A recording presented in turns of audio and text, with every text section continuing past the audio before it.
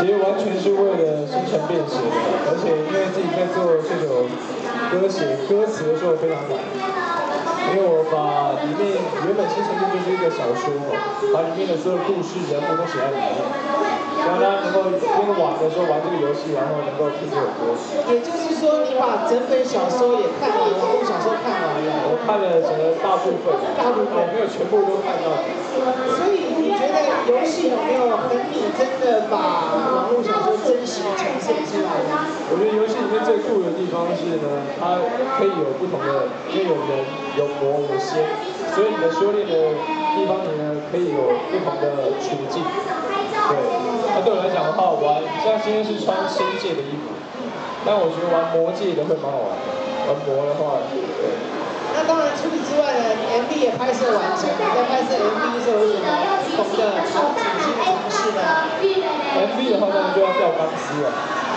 对，要因为我们要吊很多的钢丝呢，对，吊钢丝就会还蛮辛苦的。因为这个下半身要绑得勒得蛮紧，对不对？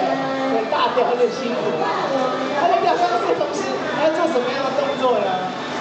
呃，要做很多侠的动作，侠的动作。对，那有时候因为你没有做好的时候，就会做的很像超人的动作。接下对。所以期待你 MV 之外，也希望说你可以收录在你的新专辑。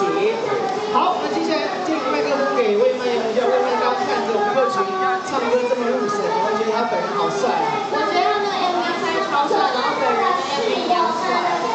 其实啊，也很好听。真正帅是被遮到的地方，不过呢，他要留到专辑之后才会让大家看得到。在努力之中，那我们也知道在拍摄 CF 的时候，新城没有烂，魏曼你有新的尝试挑战，对不对？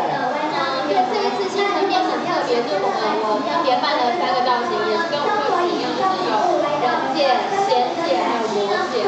那我自己最喜欢就是我现在身上这一件仙界，对。所以当女神就是成仙的意思，对不对？相信现场所有玩家们、全台玩家们，迫不及待让新城变红正式来。